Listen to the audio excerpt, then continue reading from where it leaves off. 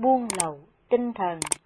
Chữ buông lậu gợi lên trong tâm chúng ta hình ảnh của một cái gì đó được xem là chống lại luật pháp và trật tự xã hội, đặc biệt là đối với nền kinh tế quốc gia. Về mặt thực tế, nó tượng trưng cho những hàng hóa chuyển lậu vào, hay cho một hoạt động kinh tế bất hợp pháp, nuôi dưỡng lòng tham và tính hám lợi của một thiểu số, phương hại đến hệ thống pháp quy và đạo đức phục vụ cho lợi ích và hạnh phúc của mọi người. Tương tự như vậy, trong thế giới của tâm cũng có một hiện tượng buông lậu theo nghĩa một hoạt động nội tâm, đối kháng lại những quy luật tâm lý nhằm duy trì việc thực hiện tính năng, đem lại sự an lạc và lành mạnh của tâm. Đức Phật đã nhận dạng được loài buông lậu tâm lý này và định danh cho nó là Ana Amanasikaraniya bất tác ý, một điều gì đó không được tác ý hay để ý đến ở trong tâm. Đây là một hình thức phủ định của từ Manasikara, mà nghĩa đen của nó là tác ý, tức là suy xét, suy tính hay quan tâm đến. Tại sao một sự tác ý nào đó lại được cho là buông lậu tinh thần. Ghi chú Làm thành cảnh cho tâm với căn nguyên tốt là như lý tác ý, tức tâm sợ tác ý phối hợp trong các tâm tịnh hảo. Làm thành cảnh cho tâm với căn nguyên xấu là phi lý tác ý, tức tác ý tâm sợ trong các tâm bất thiện. Cái tiêu chuẩn quyết định bản chất buông lậu ở đây không phải là vì nó vi phạm một quy ước hay quy luật nào cả, cũng không phải vì nó bác bỏ một hệ thống tôn giáo hay tư tưởng nào, mà vì nó làm mất hiệu lực chính cái mà nó dùng để cho sự khởi lên của nó, có nghĩa là chính cái tâm vậy, cũng như xét sanh ra từ sắc ăn mòn lại sắc như thế nào, thì một sự tác ý bất chánh của tâm, sanh ra từ tâm, ăn mòn lại tâm, làm cho tâm hư hỏng, làm cho tâm ô nhiễm và thối đọa, ngăn cản sự tiến bộ, sự khai mở của tâm, làm suy nhược tâm và phá hủy tất cả những tiềm năng cao cả của nó, cùng y như vậy giải thích về sự bất chánh của một tác ý. Đức Phật nói một cách đơn giản và minh bạch rằng, vì nào tác ý như vậy sẽ phải đương đầu với một trạng huống hiển nhiên, không thể tránh khỏi. Ở đây, một mặt lầu hoặc chưa sanh sẽ khởi lên, và mặt khác lầu hoặc đã sanh càng tăng trưởng. Như vậy, tiêu chuẩn xác định ở đây là lối ứng xử tuyệt đối khách quan và dựa vào sự thực, vượt qua mọi tính chất giáo điều phi thực tế. Bất cứ một sự tác ý nào làm duyên cho sự khởi lên của dục lậu, hữu lậu, kiến lậu và vô minh lậu, sự tác ý ấy ngay bản chất của nó là bất chánh và tà vậy, cũng giống như lửa từ bản chất của nó đã là một cái gì đó đốt cháy, tiêu hủy và hủy diệt vậy. Những chất thải công nghệ làm ô nhiễm môi trường, đất, nước, không khí và gây nguy hại đến đời sống như thế nào, thì những chất thải của tâm, lậu hoặc cũng làm ô nhiễm như vậy. Do tính chất ô nhiễm, ăn mòn và làm hư hoại của nó, một lậu hoặc làm ô uế tâm, làm suy yếu tâm, kềm hãm nó trong tình cảnh tôi đòi nô lệ cho nghiệp và tái sanh, và từ đó trói chặt nó vào vòng luân hồi, đồng thời ngăn cản sự tiến bộ tâm linh của người ấy. Do đó lậu hoặc đã được mô tả một cách sinh động như kiết sự. Kiết sự theo kinh tạng có mười kiết sự như sau dục ái, sắc ái, vô sắc ái, sân, mạng, kiến, giới cấm thủ, nghi, trào cự và vô minh kiết sự. Vi diệu pháp có khác, dục ái, phẫn nộ, ngã mạng, tà kiến, hoài nghi, giới cấm thủ, hữu ái, tật đố, lận sắc và vô minh. Pháp giam giữ chúng sanh trong ngục tù tam giới, bộc lưu. Bộc lưu có bốn, dục, hữu, kiến, vô minh bộc lưu. Pháp nhận chìm và phụ kính tâm dưới những dòng nước xoáy, bộc lưu của dục ái, hữu ái và phi hữu ái. Triền cái Triền cái có năm, dục, sân, hôn trầm, thủy miên, trào cử, phóng vật và nghi cái. Pháp tạo ra sự ngăn cách trong tâm hay pháp ngăn che, trở ngại cho sự phát triển tâm, bao gồm dục, sân, sự trì trệ của tâm, sự bất an, hối hận, hoài nghi và do dự. Đây là những hàm ý tâm lý nằm dưới sự tác ý bất thiện. Chính vì vậy, cũng là bản chất buông lậu của nó. Nói khác hơn, một sự tác ý đi ngược lại những quy luật chân, thiện, mỹ và tịnh sẽ buông lậu chất asawa vào tâm. Về cơ bản là bất thiện và do đó về mặt tinh thần không thể chấp nhận được và chính là buông lậu. Sau khi đã xác định bản chất của Amanasi Karaniya hay sự buông lậu tinh thần và sự tàn phá do nó tạo ra đến đây, thật hợp lý để hỏi tại sao và như thế nào sự tác ý bất chánh ấy khởi lên. Sự tác ý bất chánh khởi lên chủ yếu là vì một kiến chấp, quan điểm hay một sự tin chắc nào đó,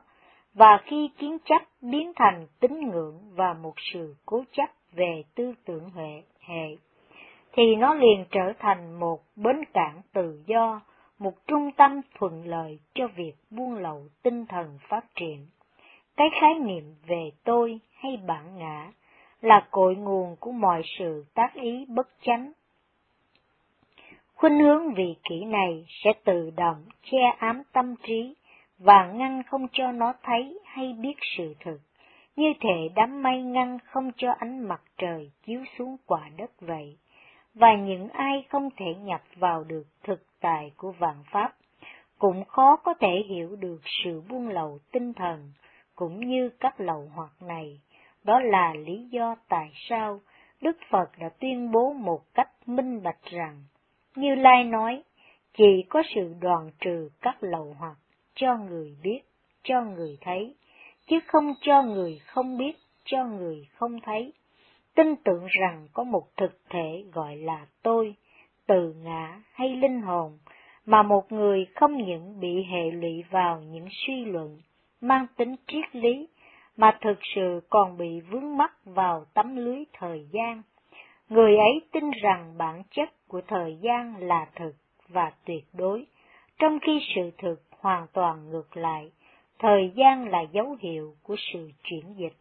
và chỉ hiện hữu như một số đo theo quy ước của những biến cố và những sự kiện xảy ra theo một chiều kích tương đối với những nhiệm vụ tương đối. Tư duy theo lối tư biện như vậy, con người nắm bắt thời gian như chính đẳng thức của thực tại và tự đồng hóa mình, tức là đồng hóa cái tôi, bản ngã hay linh hồn của họ như bản chất của thực tại đẳng thức này.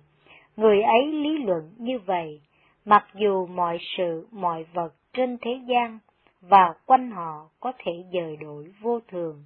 dù thế nào chăng nữa, cái ngã hay linh hồn này cũng là bất biến, thậm chí họ còn tin chắc rằng cái tôi do thời gian sanh này là vĩnh hằng và bất tử. Thực chất mà nói, một kiến chấp hay sự cả tin như vậy là hoàn toàn điên đảo, và dĩ nhiên phải trả một cái giá cho sự xuyên tạc sự thực ấy, cái giá đó chính là sự hoài nghi, ngờ vực, hồi chứng yếm thế. Vì vậy, người ấy bắt đầu hồ nghi. Ta đã có mặt trong thời quá khứ, hay ta không có mặt trong thời quá khứ? Ta là gì trong quá khứ? Ta như thế nào trong quá khứ?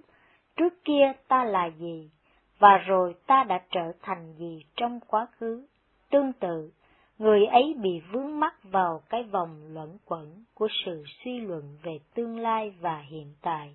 Họ quên đi một sự thực rằng cái gọi là quá khứ, vị lai và hiện tại kia chỉ là những ảo tưởng được tạo ra bởi sự thay đổi liên tục, bởi tính năng động cực kỳ của chính dòng tâm thức. Quá lắm, chúng chỉ là những khái niệm, những sáng tạo của tâm trí và hoàn toàn không có một giá trị tuyệt đối hay một thực thể nào của riêng nó cả. Đã không phân biệt được thực trạng của thời gian, lại còn không nhận rõ được tính chất luôn luôn thay đổi của từ ngã, người ấy bây giờ bị khép chặt trong chính những mô thức đức tin, hay gọi cách khác là những tôn giáo của họ. Một trong sáu tà kiến này sẽ khởi lên trong người đó là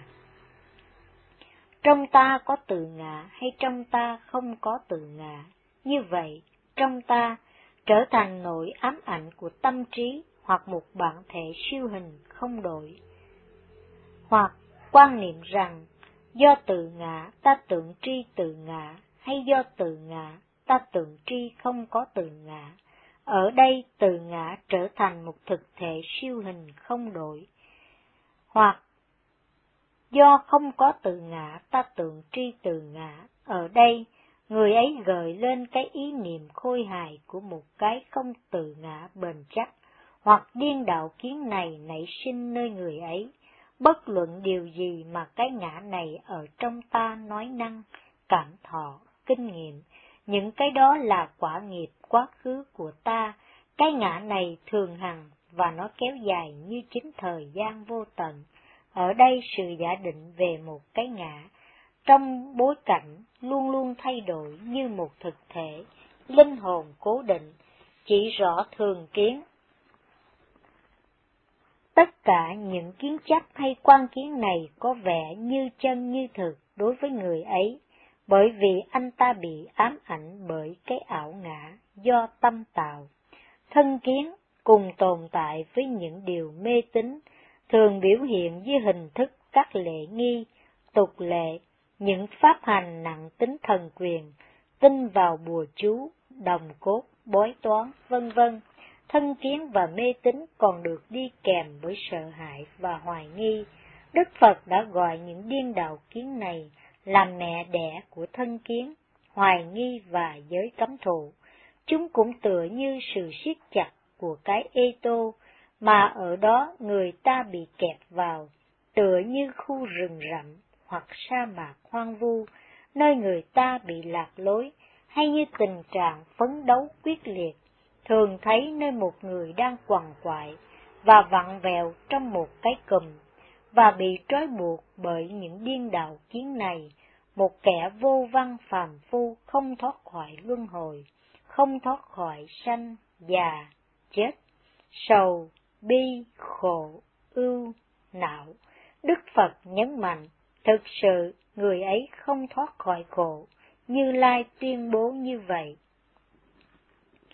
Trên đây chúng ta đã bàn chi tiết đến thế nào, và tại sao có sự bất chánh tác ý, tức là chúng ta đã nói rõ định nghĩa và tập khởi của bất chánh tác ý. Bây giờ có lẽ thật thú vị để coi xem sự tác ý bất chánh này khởi lên như thế nào? Cái cơ chế liên quan đến sự khởi sanh của nó ra sao? Ở đây, một lần nữa, kinh tất cả lậu hoặc đã trình bày rất phân minh, phương tiện để tạo ra sự tác ý bất chánh là tình trạng của một kẻ phàm phu dễ vui, không quan tâm đến việc phát triển tinh thần, tức là người không thân cận các bậc thiền trí, và không màng đến việc học hỏi và thực hành giáo pháp. Nói khác hơn, thân cận bạn ác hay những kẻ chỉ chú trọng đến vật chất, thiếu sự hướng dẫn tinh thần,